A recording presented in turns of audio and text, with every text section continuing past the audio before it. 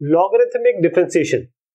So we'll learn how to differentiate certain special class of function which is of the form x to the power y and these are functions actually ux to the power vx. When we take the log to base e, this may be written as log y will be equal to vx here log of ux. So the chain rule, if we want to differentiate it, it will be 1 by y dy by dx, then vx, then log ux is 1 by ux, and then differentiation of ux that is u dash x, then here v dash x and log ux. So this implies that if uh, we keep dy by dx on the left hand side, the right hand side will be like this. And uh, the key point here is that fx and ux must always be positive uh, because we are taking log. When we are taking log or negative, it is not defined.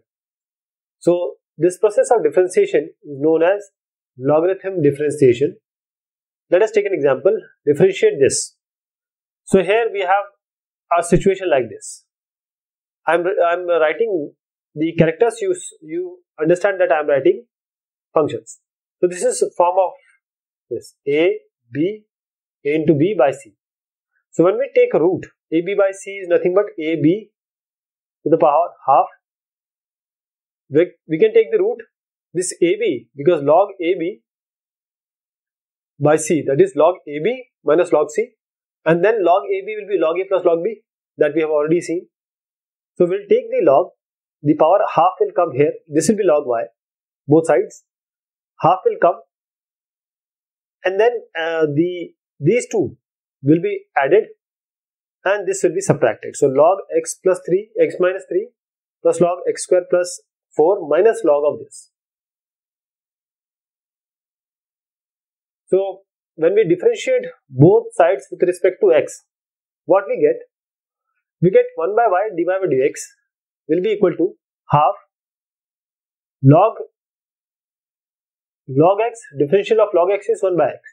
So 1 by this and then 1 by this and differentiation of this 1 by this and differentiation of this. So finally you get this. This is the final result.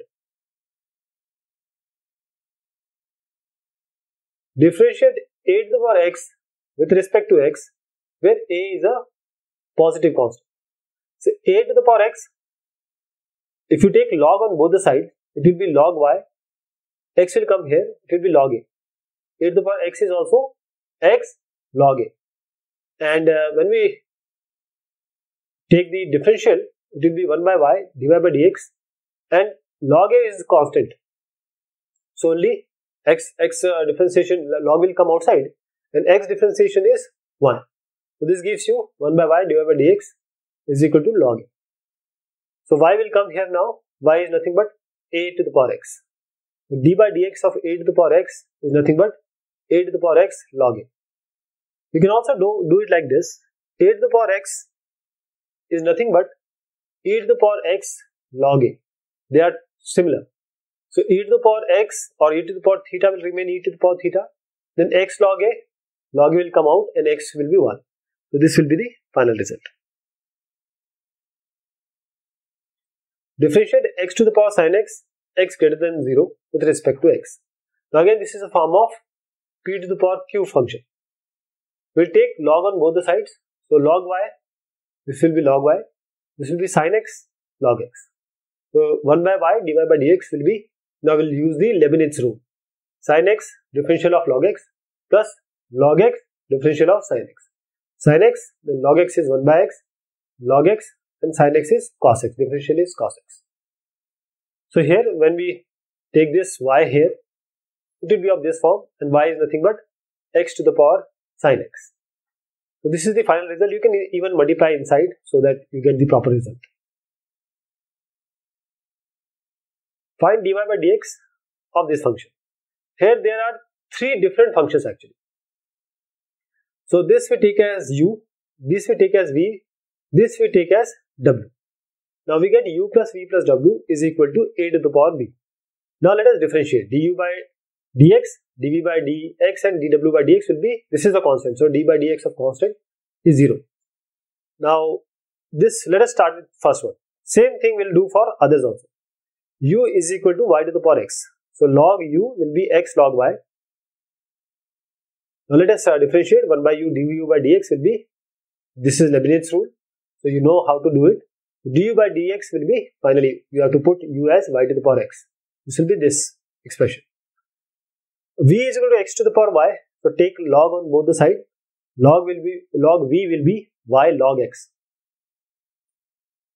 Now taking the differentiation on both the sides with respect to x, 1 by v dv by dx will be this one. And uh, Leibniz rule again. v you have to take here. This is x to the power y. This is the uh, differential of the second part. Third is w is equal to x to the power x. What you get here? When you differentiate both sides, again you get 1 by w and Leibniz rule. Taking w here, you get x to the power x 1 plus log x after you replace w with x to the power x. So when you add all these, means these three parts, the final will be, because you have to take this dy by dx, dy by dx together. Others on the right hand side. So all these right hand side, you can just write, you know, these x by x as x to the power minus 1, like this. So when you take this on the here means uh, denominator dy by dx will be something like this.